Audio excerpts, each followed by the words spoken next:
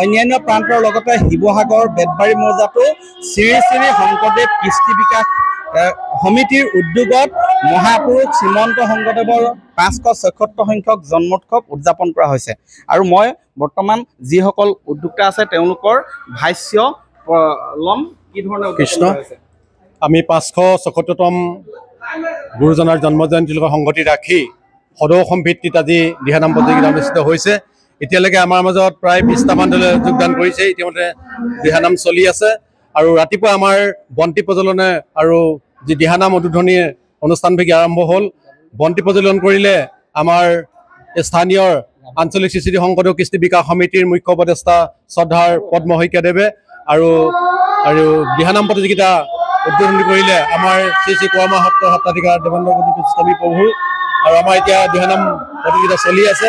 আৰু আমি এই সুবিধা মাধ্যমৰ যোগেদি অসমৰ সকলো ধৰ্মৰ ৰাইজক আমি আকৃত দিম বুলি বিচাৰিছো যাতে আমাৰ এই মহান অনুষ্ঠান ভাগি সফল ৰূপায়ণত পৰিসমাপ্তি ঘটে।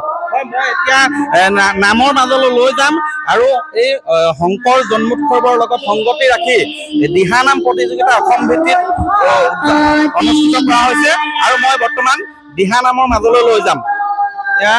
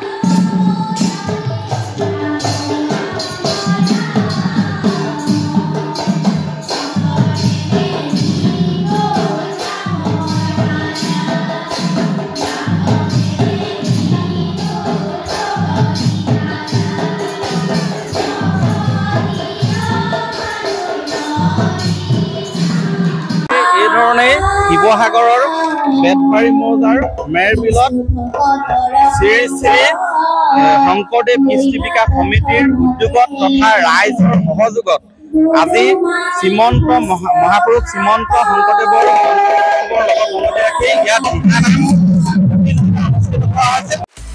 আপুনি বিচৰা বাতৰি পাব কেৱল নিউজ এইটিন এপত।